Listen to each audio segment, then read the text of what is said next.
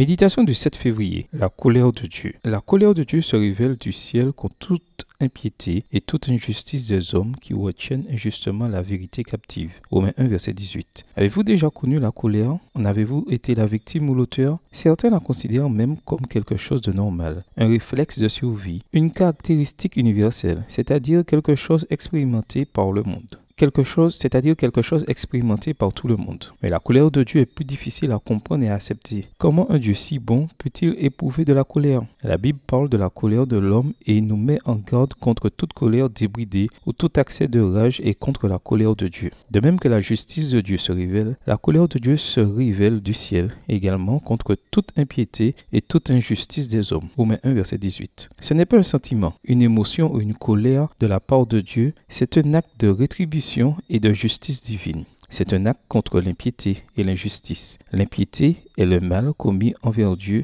et l'injustice se rapporte au mal commis contre les hommes. L'impiété est le mal raciné dans le cœur, c'est-à-dire la graine, et l'injustice est le mal exprimé dans l'action, c'est-à-dire la plante et le fruit. Dieu aime le pécheur mais déteste le péché, car le péché a fait du tort à sa créature et un jour sa colère c'est-à-dire sa justice, se manifestera. L'humanité sommeille dans une fatale sécurité, d'où elle ne sera tirée que par les effets de la colère de Dieu. Extrait du livre Tragédie des siècles, chapitre 34, page 493, écrit par Ellen G. White. Qu'est-ce qui apaise la colère de Dieu? La mort et le sacrifice du Christ. Lorsque nous acceptons ce sacrifice, nous fuyons le courroux de Dieu. Matthieu 3, verset 7, Luc 3, verset 7. Dans l'histoire de Jonas et sa mission à Ninive, le but divin était clair. Dieu avait envoyé le prophète pour sauver Ninive, qu'il voulait détruire. Il lui a donné un message à transmettre. La ville de Ninive serait détruite dans 40 jours. Cela montre que Dieu ne voulait pas anéantir mais sauver. Le temps de grâce accordé était un appel à la repentance et à la vie. Le message a été entendu, les opportunités ont été